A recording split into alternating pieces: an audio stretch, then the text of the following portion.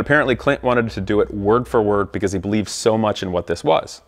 And I think that's very telling of Clint Eastwood as a person, his values.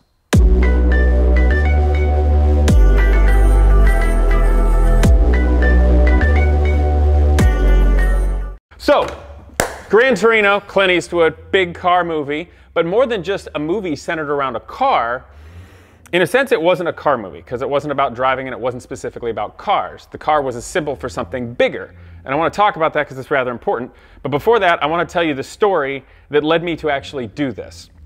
So, in the past number of years, I've uh, connected with a lot of different videographers, filmmakers, people who maybe were doing an interview, maybe we're creating a short film, something like that relating to Genius Garage. In relatively recent times, spent a very long time with a videographer, filmmaker type person. And of course, they were very positive on Genius Garage, want to promote that in a positive way and uh, go from there. But the thing that uh, made me sad that I came to realize, these people who really embody the California West Coast culture, or at least seemed that way, but when it all came down to it in the end, they just wanted to try to get me to sign a big old contract to just give my life and Genius Garage totally away and give them full power over everything. Which, hey, can't blame some people for trying. But when I very nicely said, uh, hey, why don't we, uh, you know, make this be a little more even keeled for all of us to move together as a team, they just got all mad and vanished with all of our week's worth of video, which uh, is really lame. okay, basically, I feel rather cheated. And uh, we were supposed to have gotten video and whatnot, but we didn't. We just lost weeks of work for people who now have our likeness and everything and are going to do whatever the heck they want with it. But the thing about Clint Eastwood is this. They, for whatever reason in the conversations we have, don't like Clint Eastwood. Don't know why. I just remember them talking smack about the guy. And, uh, and then it hit me after the experience I had with these individuals. I'm like, hmm, maybe I should look further into this. So I did. Now, the movie Gran Torino, I haven't watched in a long time since it came out. Uh, when it came out, I remember thinking this is a very good movie. Uh, it deals with a lot of important life topics, and uh, it's very relatable. Uh, and quite frankly, kicked me so hard in the feels that I didn't really want to watch it for a while again just because you know you know those movies that I'm talking about they really get you so you bring them out every so often so I watched it again today and uh, Clint Eastwood's character is a Korean war veteran uh, he's got his Gran Torino from when he was working on the assembly line back in the early 70s brand new and has kept it perfect maintained a long time uh, he's a character who lives alone uh, the movie starts off with his wife just died. Uh, I think they were married probably 50 plus years in this movie. You know, and Clint's character is feeling alone and isolated from everybody. Uh, you see very quickly that his grandkids do not embody his core values. Uh, they don't take the funeral seriously, they don't take the church seriously, and they're certainly not showing any respect to the setting with everybody or Clint. So that's really setting the stage. Clint Eastwood's character, um, you know, you see other symbolic things in there. The Gran Torino representing his pride in uh, industry, his pride in his job, his pride in his nation. Same thing, he still has his M1 Garand rifle, which any firearm aficionados uh, know from World War II and the Korean War. is kind of like the most classic American rifle, just lots of power, really good thing. So kind of symbolic too on what things meant. But as the film progresses, you see the full nature of Clint's character's isolation as an older guy. One, uh, he's kept up his house beautifully, inside, out, and the grounds over time. But as you all see, the nature, the ebb and flow of uh, cities what once was a very nice neighborhood eventually kind of falls down and becomes a not so nice neighborhood and things aren't kept up and maybe the income of families and, and uh, the cultures around it aren't so good. And it's the same with clint's house. So the clint character's house really nice. The neighbors a little more in disrepair. Yards are grown up. And i believe this is set in detroit so you can understand that. So you can see the feeling of isolation going. When everybody from the family are over his house no one's helping him just get simple chairs. They're not really thinking about everybody else and uh, you can see that his kids, his boys, and most especially his grandchildren, just don't share his values of life, people, teamwork, community, or even taking pride in a domestic car and caring about that. Uh, and they don't get it, they don't get him. Uh, the wife is a little bit um, what do you call it, sympathetic toward Clint's character because he worked at the Ford plant, but that was really superficial. Uh, of course, the family goes on a little bit later. You get some really unhappy, uh, unnice, unappreciative things, such as the granddaughter, who's you know got nose rings and things like this. Uh, she basically just looks at Clint's character and wants all his stuff when he dies. Doesn't care at all. I mean, absolutely self-centered and entitleism shown that, and that's sad because that's obviously his family lineage. So after the family goes away and then comes back on his birthday trying to put him into a nursing home, and his character clearly doesn't need it. Uh, and if any of you out there have had experiences with uh, older people, the United States is a very funny place that doesn't get aging. Just the United States hasn't been real respectful of people that are aging and keeping them at home and whatnot. So it just uh, it just goes to cement Clint's character's feeling of isolation and his values, whatever they may be, just not showing anything. We don't know him. But when the movie starts to take a turn, was when the neighbor kid, if I'm not mistaken, was a different uh, segment of Chinese culture and immigrants there. You see a number of things happen. One, there's, there's gangs going on that are trying to get this young man into the gang, and his initiation is he's supposed to steal Clint's Gran Torino car. Of course, it fails. Clint meets him with an M1 Garand. Something happened. He falls over. The kid gets away, but he catches him, and it goes from there. There's also a um, a big family meeting of the uh, immigrant family next door that Clint ends up being at. And that's when you see a turning point. That's when you start to see the Clint character's values come out because he's seeing these people, and while he doesn't relate to them, and quite frankly, he's a bitter old guy that fought in a war over in the general vicinity of the world he's at with racial slurs and everything else going on, and he's very crusty, he starts to see the immigrant family showing core family values and caring about each other, traditions of uh, food and meals and caring for each other and all that. Um, and you know, he makes some faux pas. He, he touches the uh, young kid's head, uh, which is very frowned upon and all that. But you start to see a small realization. And then the, uh, the mother and the sister uh, take the young boy who tried to steal his car and basically force him to repay his debt for doing that by working for the Clint character. He doesn't want to do it, of course, but the family insists the women uh, are standing up for their core values and force the kid into it. And Clint's like, well, okay, what, you sticking with me, whatever. Uh, but I think that was a moment where he started to respect them for having the values. And um, I think some of you have seen this movie, of course, but the, it, it continues. You know, it continues. He's really down low, uh, the young man in Clint's eyes but he's working, he's there, starts to pay attention. And you start to see that even though Clint's character is very gruff and difficult, he actually cares and starts smack talking with the kid and kind of like being very blunt, very direct. He meets uh, this uh, young woman who's very attractive downstairs, talks to him in, in the family's house, and then after she and these other guys leaves, like, what are you doing, dummy? She likes you, you're missing out. Go after her, idiot. so the guy cares. The guy cares about young people, and he's starting to care about values. And I'm not going to go into every detail, but you see the progression all the way through. And he takes this young man to help him find a job at a construction place, teaches him how to talk, how to think, how to respect others, how to smack talk with guys, how to be accepted. Takes him to the hardware store, helps him get tools, says he can pay him back to get him started with that job. You know, these are the everything, everything you want from a mentor and everything you want from an older person to pass on to a generation with his succession planning just as of life. Uh, you know, Ian takes in the barbershop. That's a great fun story about uh, smack talking with guys and whatnot. But the, uh, the gangs persist in this that are trying to get the young man. Um, they beat him up. They take his tools when Clint's trying to get him off on the right path to work and have a job and build confidence and basically help him become a, a uh, great man in the future with good values and uh, take that away. Uh, Clint's character does not care. Nobody cares about him. So he's going to go take care of it because he darn well knows nobody else is. Uh, so he uh, beats up the one guy, sticks a gun in his face, intimidates him, which in his day probably would have worked, but didn't in this circumstance, which made the gang violence way worse. There's a drive-by shooting. And um, the, uh, by the way, if you don't want this to be spoiled, don't keep watching. Just watch the movie and then come back to it. Uh, and then the young woman who's Tao, I believe is his name, the young boy's sister, gets raped or at least it's very clearly shown. And Clint's character is just Uh, just like that's it, absolutely appalled. There's there can be no civilization here. But throughout all of this, the immigrant family and Clint's character get to know each other better. They care about him, he cares about them. he sees the core values and, and everything wonderful going on.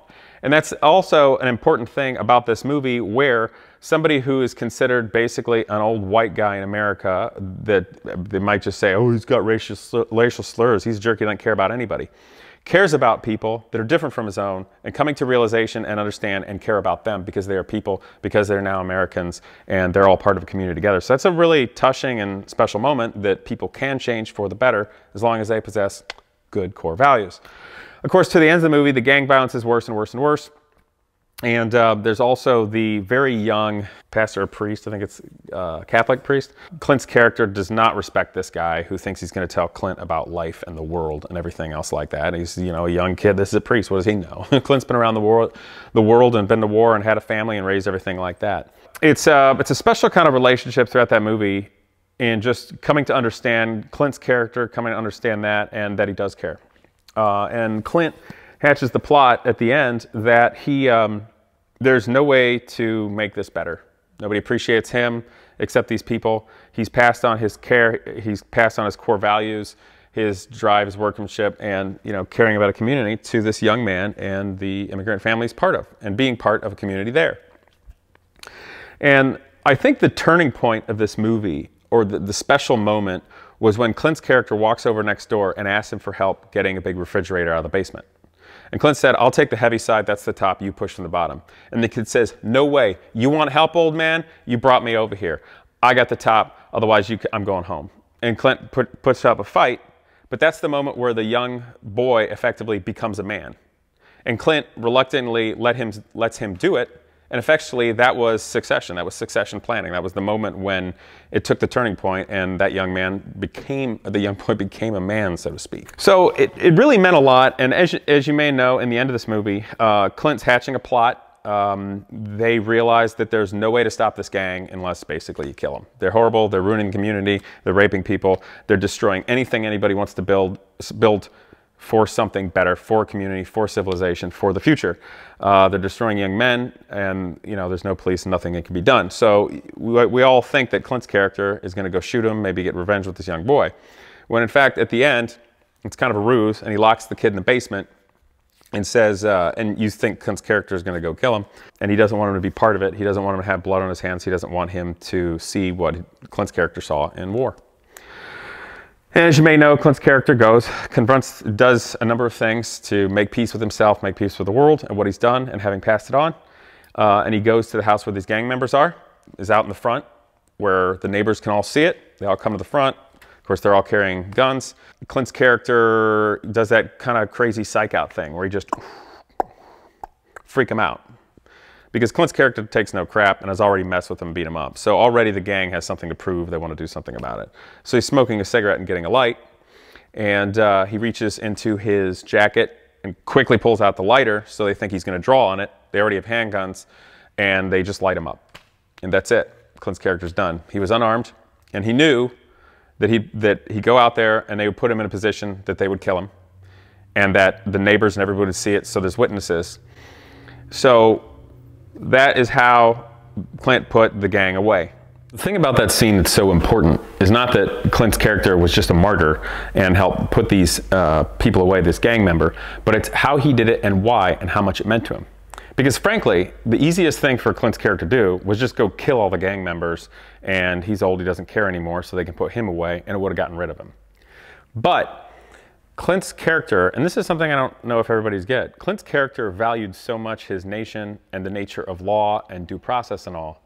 And he knew that the chess pieces were such that the only way it could be done was with he sacrificed himself as an individual for everybody else. And I think that's a very important matter to bring up, that even if you want to or can take care of something, you still have to respect our law and our legal process and our nation and police and all of that. And the difficult thing about the gang is, or anybody that's horrific out there, they know how to exploit that. So that was another profound reason why Clint's character had, frankly, done the right thing for the betterment of the people that are sharing his core values, his community, the young man, the immigrant family. You know, at the end of the movie, you see that, and this comes full circle to where they're all with the attorney and reading the will, donates the house to the church, because uh, obviously value there, but he gives his car and probably his tools and everything like that and his caretaking of his dog to the young immigrant man who's riding away at the end. And symbolically, of course, driving away in the Gran Torino, which is perfect, embodies Clint Eastwood's character's values and core values and who he is as a man. And uh, obviously, him driving along and away at the end is symbolic of carrying those forward for the future. I think this movie is incredibly important.